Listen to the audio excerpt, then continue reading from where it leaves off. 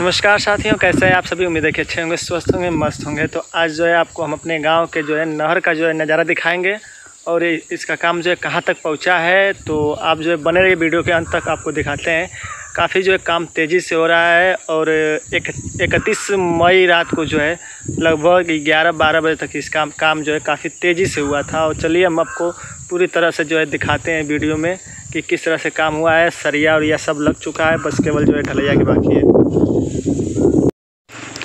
तो चलिए आपको नज़दीक लेकर चलते हैं और आपको दिखाते हैं पूरा नज़ारा। देख सकते हैं कि पटरी बल्ला सब लग चुका है और बिल्कुल जो है ढांचा बन चुका है, केवल जो है अब ढलैया करना है और ये लगभग पता नहीं क्यों लगभग जो तीन दिनों से ये काम जो है रुका हुआ है। इकतीस तारीख को रात को सरिया और कटा रहा था। और हमको लग रहा है कि एक जून को तो लगभग ये बंद ही था। दो जून को काम हुआ होगा और आज तीन तीन जो है जून है। आप देख सकते हैं किस तरह से ये कार्य हुआ है। क्योंकि सबसे बड़ी दिक्कत इस समय ये है कि अब जो है धान डालने का जो है, रोपनी का समय आ रहा है धीरे धीरे और नहर नहर नहर का जो भी पुल है, वो अभी बना नहीं है। यही नहीं, इस नहर पे लगभग जो है कई जगह जो है पुल का निर्माण हो रहा है, जिसकी वजह से जो है नहर में पानी जो लगभग बहुत बहुत महीनों से जो है कटा हुआ है, नहीं आ रहा है। तो काम जो है काफ़ी तेज़ी से भी चल रहा है। तो आप ये देख सकते हैं, जो नहर की सफ़ाई थी, नहर की सफ़ाई जो है पूरी तरह से हो चुकी है, केवल जो है किसानों का इंतज़ार है। सिर्फ़ इस पुल के बनने का, और जब ये पुल बन के तैयार हो गया है तो नहर में पानी जो है बहुत तेज़ी से आ जाएगा।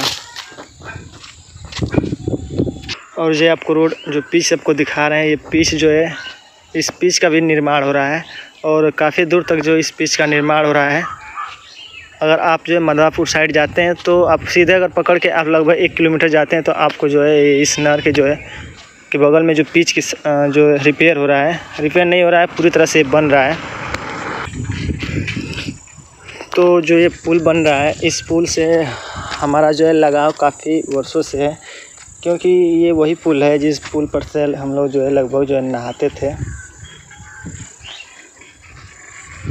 लुक्का छुपी खेल, खेलते थे तो इसमें छुपने का काम भी होता था। तो इससे काफ़ी लोग जो है लगाव था हम लोगों का और ये टूट चुका है और देख सकते हैं काफ़ी मजबूती है। जो भी सरिया इसमें लगाया गया, काफ़ी इसमें मजबूती से लगाया गया और देख सकते हैं कितने अंदर तक इसकी ढलैया होगी। देख सकते हैं कितना ऊँचा तक ये है। तो साथियों, उम्मीद है कि ये छोटा सा वीडियो आपको काफ़ी अच्छा लगा होगा और ऐसे ही इन्फॉर्मेशन के लिए जो है, आप हमारे जो है पेज को फॉलो कर सकते हैं और यूट्यूब पे हैं तो यूट्यूब को सस यूट्यूब चैनल को जो है सब्सक्राइब कर सकते हैं। तो मिलेंगे अपने नेक्स्ट वीडियो में। तब तक के लिए जय हिंद, जय भारत। खुश रहिए, मस्त रहिए।